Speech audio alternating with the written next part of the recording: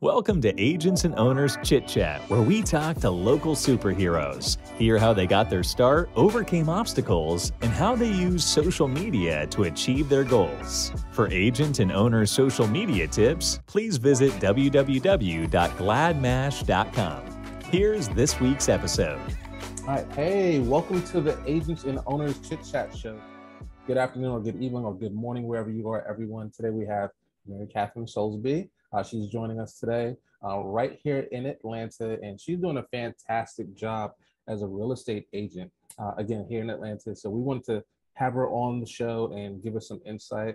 And uh, welcome, Mary Catherine. How are you doing today? I'm so good. How are you? Excellent. Now, did I introduce you correctly? Did I miss anything? Real estate agent right here in Atlanta, right? Yeah, real estate agent right here in Atlanta. That's gotcha. And what market do you serve up?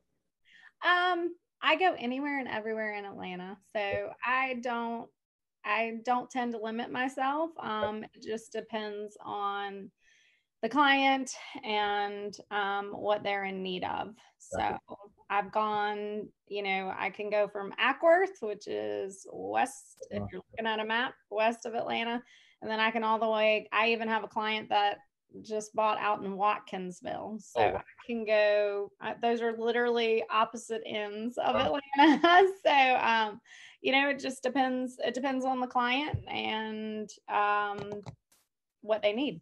Yep. So we go to where the business is. All right. So how did you, yeah, right. So how did you get your start though? And how long have you been uh, in the real estate in- industry and how did you start out? So I have only been a licensed agent. This is my second year. So I am new, newer, I guess, to real estate.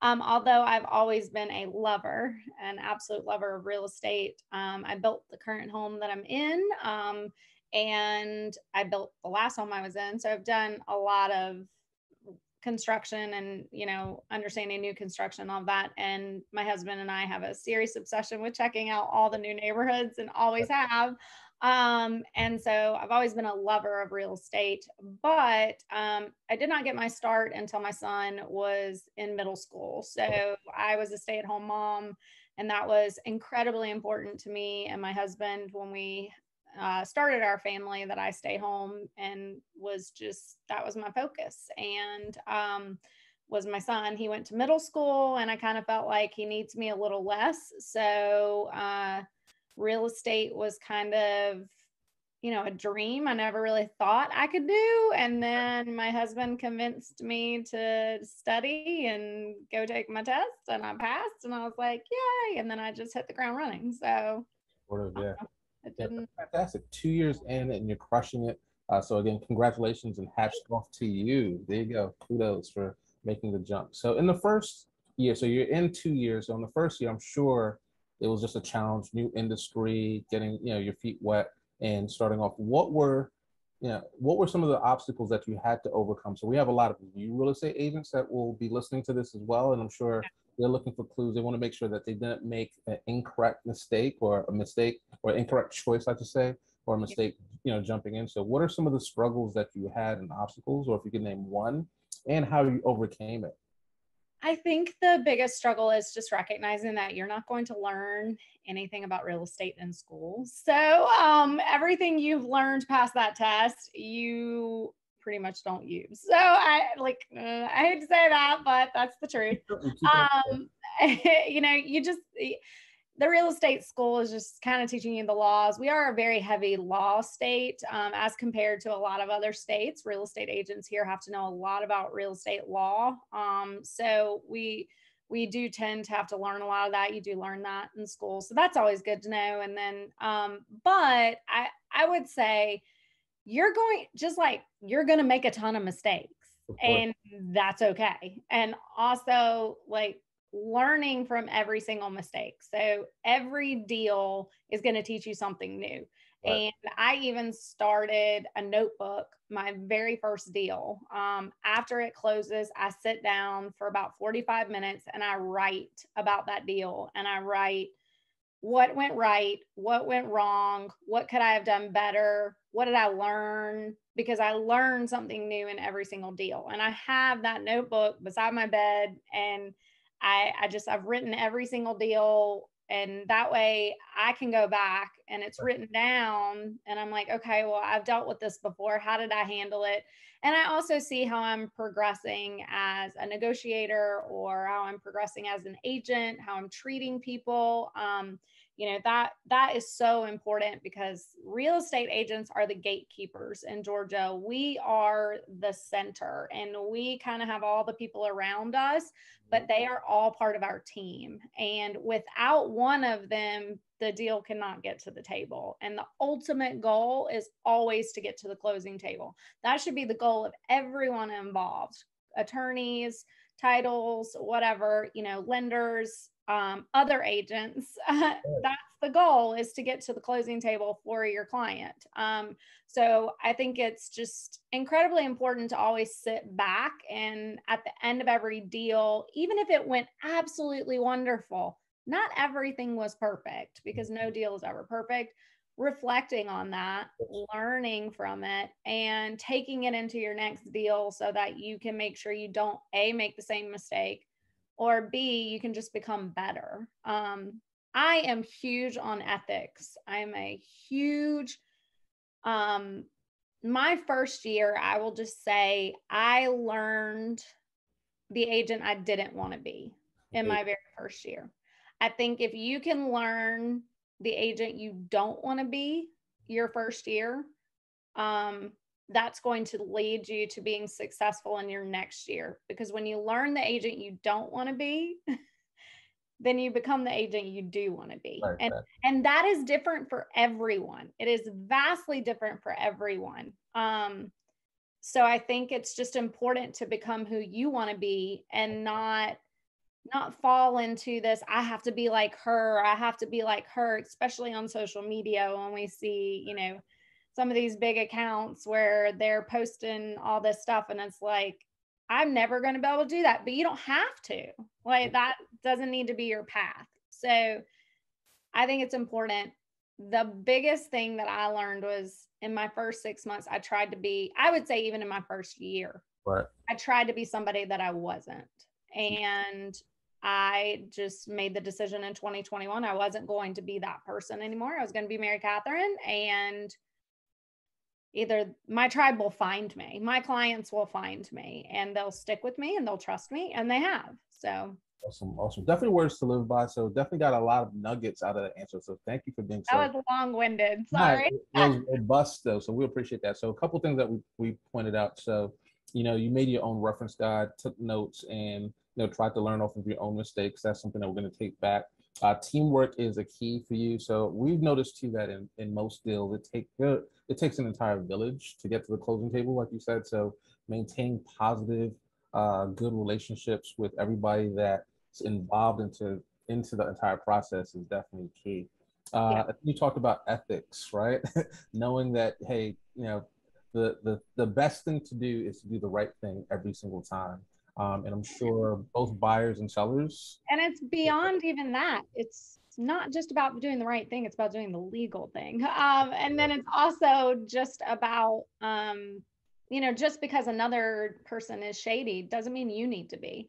And I think that in this crazy market that we've been in in the last two years, um, the shadiness of some people has come out and it's very obvious and so just as long as you recognize that and you you recognize that in someone else and then you say okay i gotta like protect my clients and against this and sometimes it's hard to do um, and then just having that honest conversation with your clients you know i am i am so crazy honest with my clients like when i mess up i just messed up really big last week like i missed something completely in a contract and she got one over on me and it is what it is. It didn't hurt anything but it could have right. and it was a lesson i needed to learn um, but this was also a huge client of mine, one that is liquidating a lot of her properties and tr- has entrusted me. Right. And I, I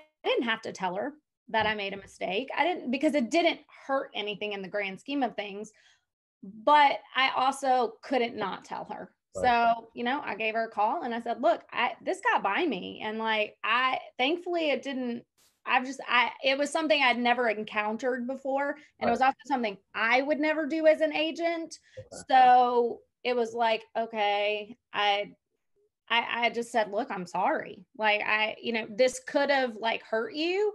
And I've learned, and you know, and she was just like, Mary Catherine, it's not a big deal. Like I'm like, I know, and you know, but she appreciated that. What? You know, that's another thing. New age, like even oh, like even the ones that say, I've been doing this for 25 years, or you know, yeah, First of all, I roll to that. If you have to say that, then we we're we ain't gonna click because right. I don't care how long you've been doing something. Right. You should be learning something every day. Um, that goes in life in general. Uh, so I think like the biggest thing is just recognizing that it's okay to apologize to your clients because you're gonna mess up. Like you're going to mess up. There is not going to be a single deal where you're not going to get something wrong um, or have a team member say, Hey, MC, you didn't do this, and now I need it now. Oh, God, it slipped my mind. So, you know, it have it really establishing that honesty that is so incredibly important to me with my clients um, and they trust me. Yeah, i was just about to say i'm sure that your clients appreciate that too. So we've seen that when there's a huge amount of transparency and self accountability um, though, when you do that with those clients, those are the clients that will refer you like hands down, like night and day to their, you know, friends and family members, people they work with, because they're like, hey, you know what, Mary Catherine, she's she's human, just like me. She's you know liable to make mistakes, but you know that's somebody that I could trust. Yes. Uh, in marketing, we you know we talk a lot about you know getting your clients to know, like, and trust you. And if they don't trust you, um, it's hard for them to do future business, and more importantly, it's hard for them to again refer you to other people. You know, I I hear the know, like, and trust you so much, and you know, I, I hear it everywhere, and it I, I like the saying, um, but I don't think all your clients are going to always like you, and I think that it's okay if they don't always like you. Um, I have had clients that I've had, you know, a husband and wife team fighting in front of me about what they want to do and i have to slam my hands down and say we're done. This is it. This is where we're going in. Like this is my advice. Like we're you know and maybe the husband didn't really like me at that moment like but then he loved me later on. Like your clients are not always going to like what you have to say you know especially sellers. They're not always going to like what you have to say. Um, reality is a house is only worth what a buyer is willing to pay for it. I don't care what that comp says, I don't care what that appraisal says. Reality is that a house is only worth what a buyer is willing to pay for it. So, you know, market value has a lot to do with it. But I think we put so much pressure on ourselves, especially on social media, to be uh, liked all the time. And if you are a hard negotiator, if you are a fighter for your clients, there may be times when they don't really like you. But at the end of the day, you're doing what's best for them. And sometimes what's best, they don't always like. so, and sometimes what's like reality, they don't always like, especially when it comes to sellers. But I will give just a little piece to new agents. The one thing that I do, and I offer this to all of my sellers, is I get the homes appraised. So it is, it comes out of my pocket. Um, it goes into the contract. I mean, when we sign an exclusive agreement, I get it appraised because I like to set expectations. I don't want to be three weeks into a deal and be having a conversation that we're going 75 because an appraisal came back $75,000 less. And then I have to have a conversation. So I have an appraiser that I work with. He does all of my homes. It doesn't matter if that house is two doors down from me and I live in the neighborhood, it's getting appraised because I want to set expectations. Then I also have, when an appraisal comes back to me, a way to battle back and say, look, these are the comps. But I, I also have that range where if, you know, a house appraises on my end for 460, and we decide to go up a little bit from that or lower than that to try to create some competition there's a range where i i'm like okay guys but you understand that this is where our appraisal came in like set those expectations be mm-hmm. very clear with them sellers appreciate that Um, and I've never had, I've never had a seller battle me on it. Um, but I also am very picky about my clientele. So right. I don't. Right. That's good too. We're going to talk about that in a second too. So um, I think also, again, we you brought up earlier, just being transparent and straight up with your customers. So even if they don't like you, I'm sure that they respect. Yes. If, if you, are just trying to do the best. Like needs to be changed to respect. There you go. I like that. Like yep. is just no respect and trust you. We're gonna we're yes, gonna yes, respect.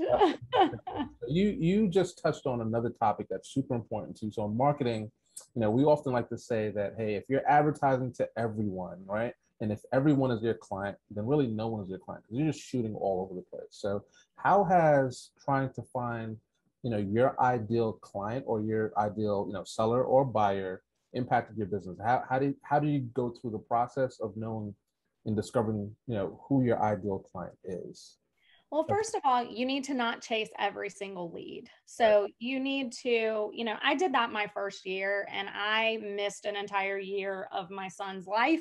I missed an entire year of my own life um, because i was just chasing chasing chasing. And i realized that i preferred quality over quantity. So i am never going to be the agent I'm just not going to be the agent that does 50 deals a year. It's just not, first of all, I don't have a goal to do that. And second, I don't believe that that's a good life work balance. So I, I, I know what goes into every deal and how emotionally stressful they are for the agents. So I think the biggest thing is not chasing every single lead. Realize what like niche down. So I tend to sell between five hundred and dollars. That is my niche. I will go lower. Normally, I'm selling those homes, um, and the buyer, the people who are selling it, are upgrading. So, like right now, I'm just got a new client. We're selling her four hundred thousand dollar home, and she's upgrading to an eight hundred thousand dollar home. So you know, while I'm so I've gone under my 500,000, I'm keeping in that range. So I don't tend to have buyers that are in the two, 300, even $400,000 range. I just choose not to do that because to me, I love that 500 and 900,000 dollar range. I love those homes. I love negotiating those deals and um, I love looking at those homes. So, right. but I also don't want to go over a million. Okay. So, because that's a whole nother level of marketing right. that it just isn't me. Like, it's just not who I am. Like, I, I could, I could swing it. It's not that I couldn't do it. And I've gotten calls by clients, but Sometimes when you get into those upper levels, they won't sign exclusive agreements with you. I'm not willing to do that. I'm not putting my time into something. You know, it's funny. I had an NBA player, a former player, actually say to me, um, I'll give you the listings 4.5 million wow. homes. Mm-hmm. I'll give you the listings. This was last year. Of course, as a newer agent, I'm like, oh my God, yes, you know. And he's like, but I'm not signing an exclusive agreement with you. And I'm like, Yes, yeah. uh, yeah, because yeah, that could go to. Two- my next question was, did you step on that floor in the NBA? Because I'm a huge basketball fan, so I know. Yeah, did you step on that floor without signing a contract? Mm-hmm. No. Right. I know you didn't. So right. why are you expecting me to step on your property without signing a contract? Risking, like you said, risking all the time wasted for them to just go any anywhere with anyone with any other agent. And like yes, all that time, could walk. Right, all of my clients sign nine to one year exclusive agreements with me. And I've wow. never had a client scream about like I've never had a client say, I'm not signing a six, nine month to a year with you because number one, they know I'm going to sell their home quicker than that. So we're not going to have to worry about that.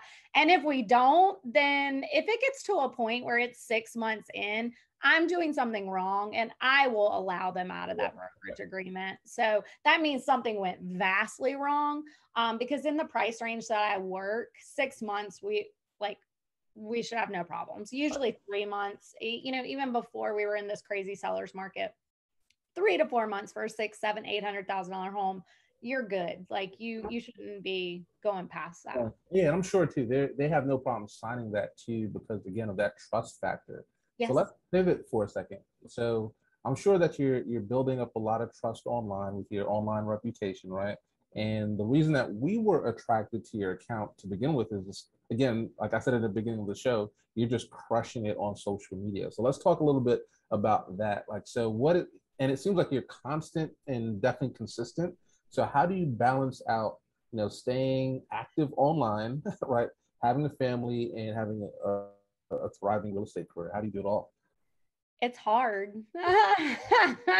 um, it's hard. I mean, I have batch days I create on on certain days. Um, you know, I I will get dressed up in the morning, do the makeup, do the hair, have 17 outfits ready to go, and I'm like kill out, you know, a bunch. And then sometimes I'll do some on the fly because I'll just find a a funny one that's trending. You know, I am more than just a real estate agent, so it it is it's social media for me is all the things. I want someone to look and see who they're working with, like in all aspects. I am a mom, I'm a wife, I'm a dog mom, I'm also an, a published author, I'm a real estate agent, I am all the things. And sometimes that gets hard because I'm like, well, what do I post about? But I'm also not that page where you're going to see a ton of houses. Like I'm not, I just, there's so many other agents out there that do that. Um, that I just don't feel like that's my message. Um, I do a lot of stuff on the back end with my clients. Um, you know, I'll post like a reel about the closing or or just a picture of the house or, or a picture of them or something like that. But I do find that a lot of my clients don't really want to be on my social media.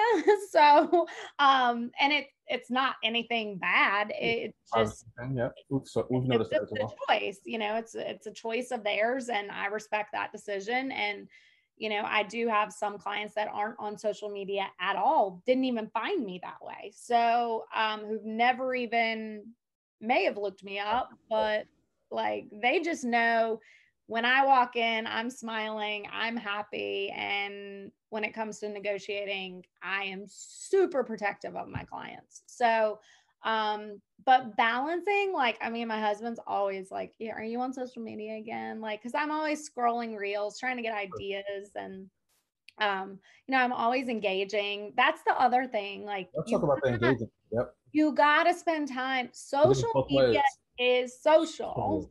You can't just like post the reel and fair. All right.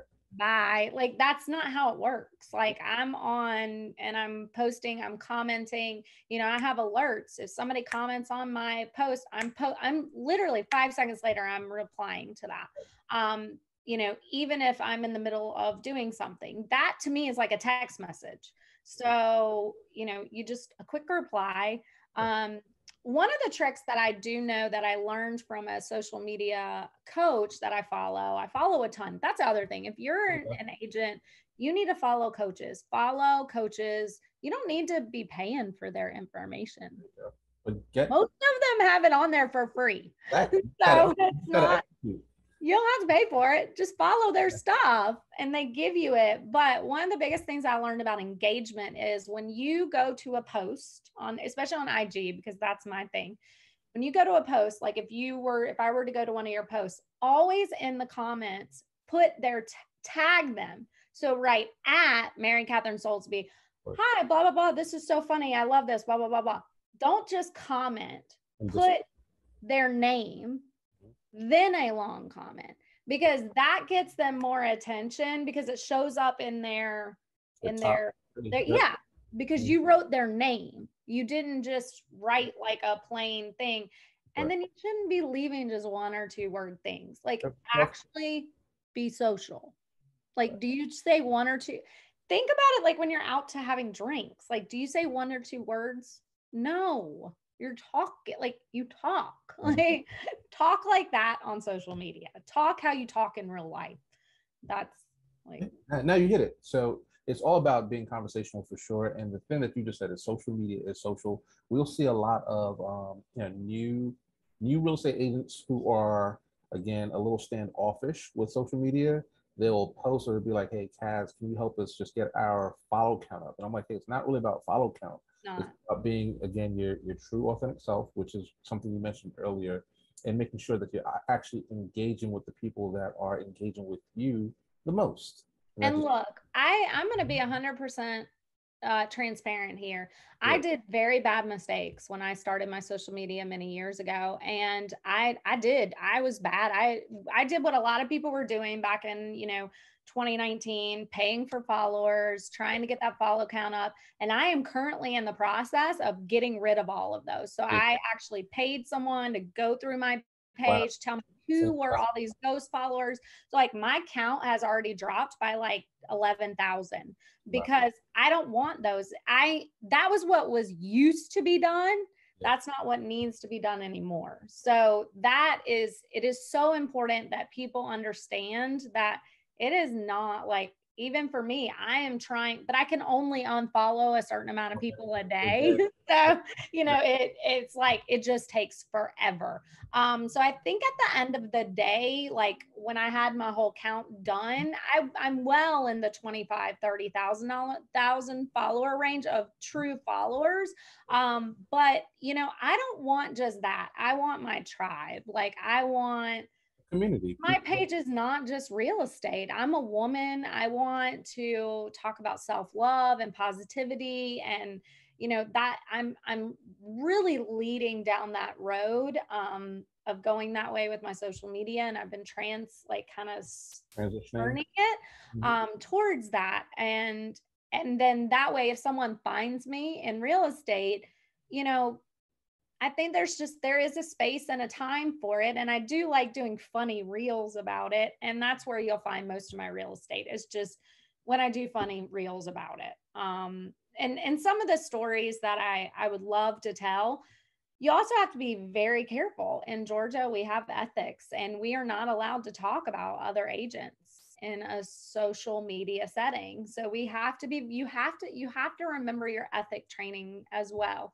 So sometimes that stops me from doing things about a deal that i'm like you know i really wish i could post about this but i just don't think it's ethical. Right. so i kind of am i i when it comes to my real estate that aspect of my life i take very seriously and I take my clients' confidences very seriously. So that, I think that's the other reason why you don't see a ton of real estate on my page. Um, but also, people don't want to see real estate all the time. They don't. They want to mix. You know. So even and what they want is someone that they follow, that they enjoy following, and then when they're looking for a real estate agent, you're the person that pops in their head. They're like, oh, yeah, Mary Catherine's a real estate agent. Let me reach out to her. Like the clients that I had last night, I gave them advice a year ago. Last November is when I gave them advice on an issue that they had that they found out. Someone gave them my name. I gave them advice. I did a bunch of stuff for them, never thinking that I would ever have them as a client, just doing it because it's the right thing to do. I mm. now am swinging to a probably $1.5 million deal just with this one client. So all because I answered my phone a year ago and and just took an hour right. and listened to her, got her in touch with the right people, and then look where we are. So, you know, and when she called me, I was just like, oh, that's weird. Why is she like, oh gosh, what else happened? I was nervous about something else happening. Right. And right. she was like, no, no, no, like we're we're ready. And I'm like, okay, let's do this. So, that's you know, like, that and it was because she knew that I would go to battle. And and ethically she had dealt with very unethical agents before. And so she wanted someone that she could trust and that would go to bat for her.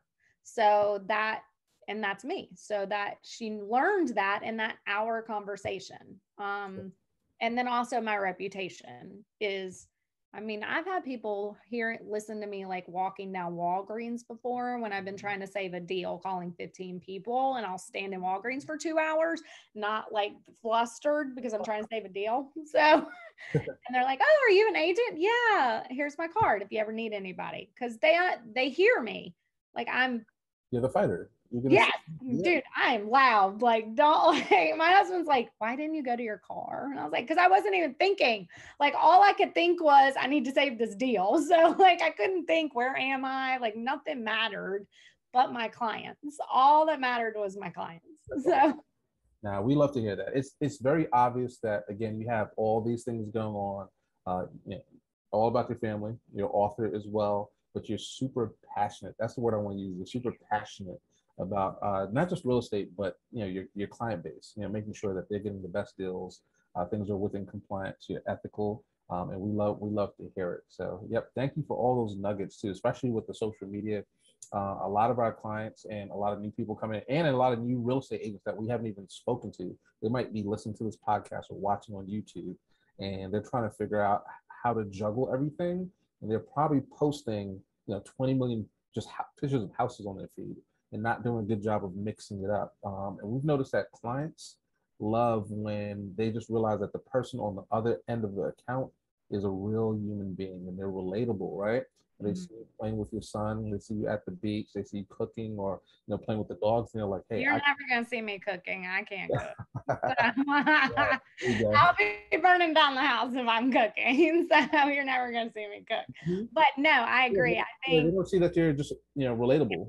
And you gotta, you gotta, you can't because the other thing is people are going to remember you for like those other things and right. then when they need a real estate agent Boom. they're going to be like oh yeah let me reach out to her and and or him and that's how you get them like you just have to you're always in their face and consistency is is is it's hard it's dude it's hard to post all the time like i trust me there are times where i'm just like i'm done and the other thing is it's okay to take a break I think the biggest thing is for social media is you need to post what feels right for you. Don't post just to post. Post like because you want to like get something across or you know, don't post that oblige like uh, I can't say that word. That Victoria? Obligatory. I'm not saying that word. Yeah, we know obligated. I can say obligated. I can say it the other way. That obligated like closing picture of you standing with the key. Like right. I'm glad you have closings. It's great. That's awesome. But you're not going to see that on my page. It's, I think I've done one of those and I turned it into a reel. Um, everybody knows like those are pictures the clients are putting on their pages. That's those pictures are about your client. Let them have them, you know, let like let them do that. That that's them because it's all about them on that issue. And not like your page shouldn't be full of keys and like you like okay yeah you had closings like obviously you've had close like i don't think i've shared but one closing i've had this year like i just don't like but it's not like i'm not working i just don't like it's just those are moments i also feel like it's like we don't have to share every moment like enjoy the moment that you're in and when I go to closings with my clients, like I'm all in. I'm not thinking about taking pictures or doing a reel or a video or an IG live. In the moment. I I'm in my moment. Like I'm enjoying the fact that I just like nailed this.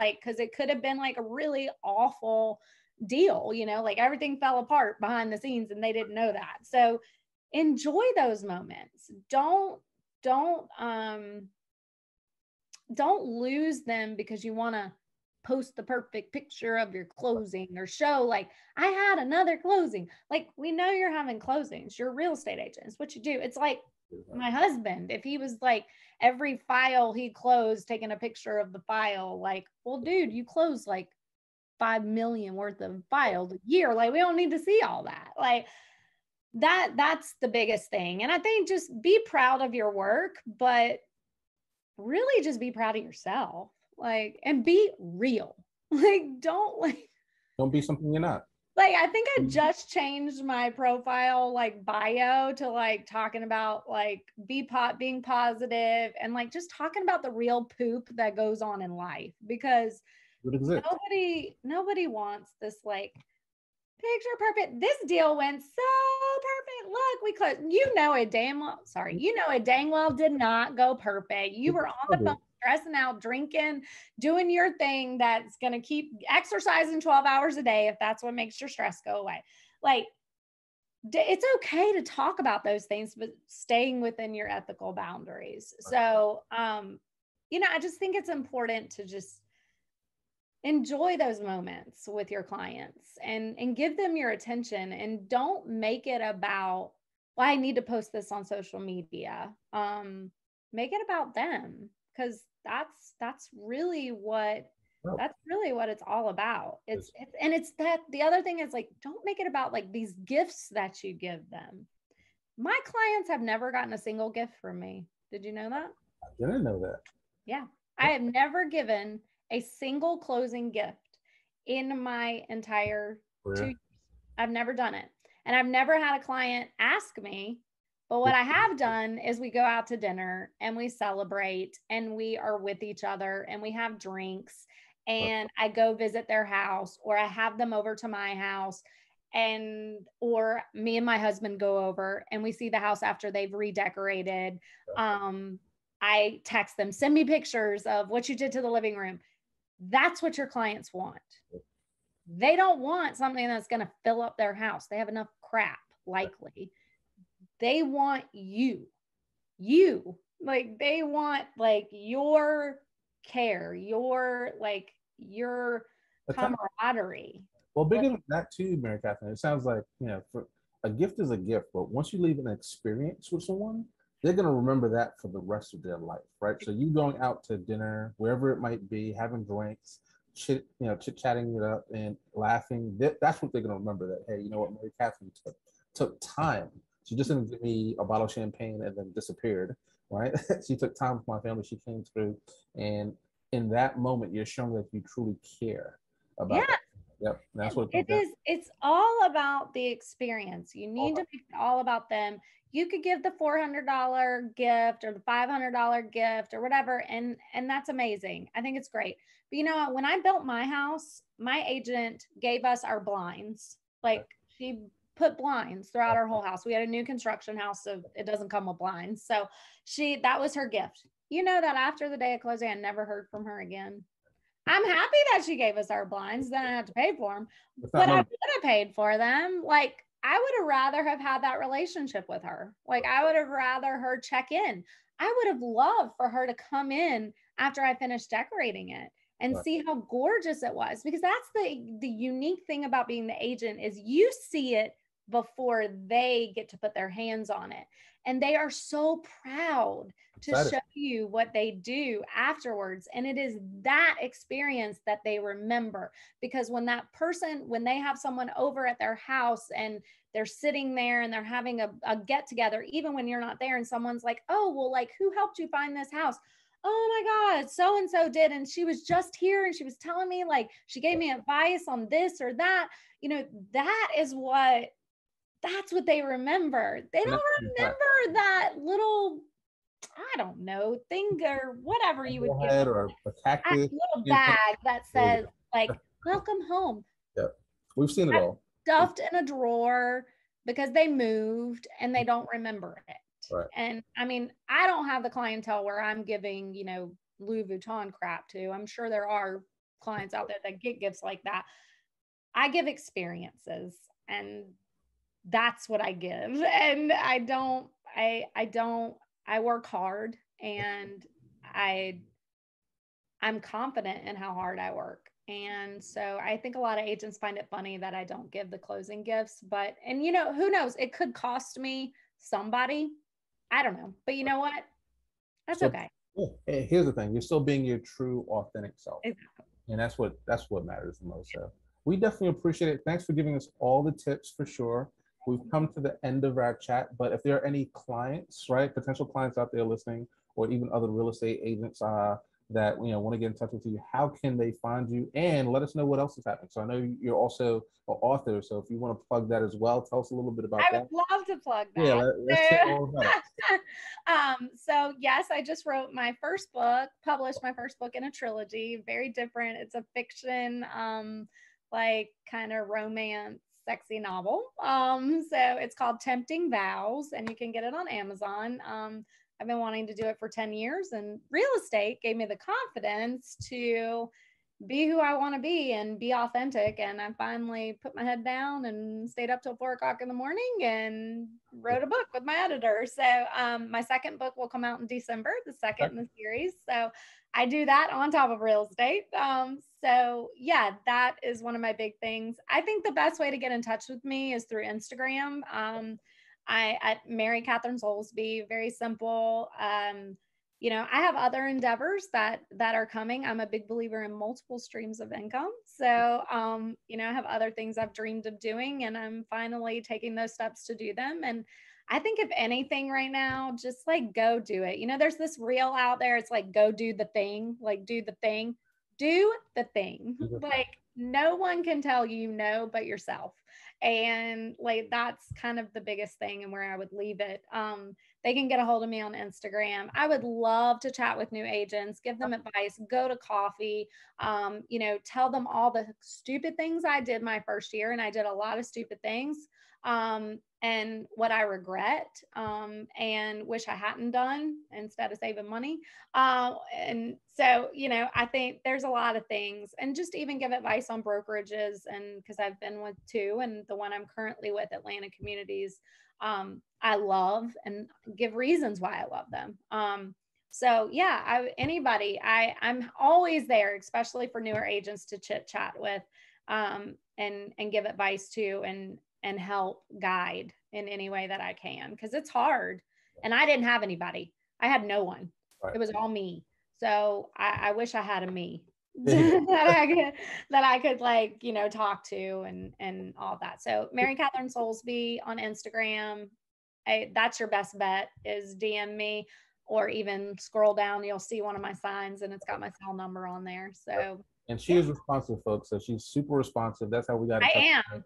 And she was very willing. So we you have to be responsive. That's the thing. There's no you don't you can't do real estate and not be responsive.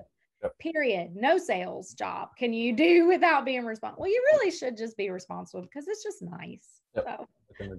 All right, Mary Catherine, we appreciate you. Thank you so much for joining oh, Thank us. you. We'll be in touch. Thank you. Okay. Guys. Bye. Thanks for listening. Agents and Owners Chit Chat is produced by GladMash. To be featured or sponsored, or to sign up for Agents and Owners free social media tips, please visit www.gladmash.com.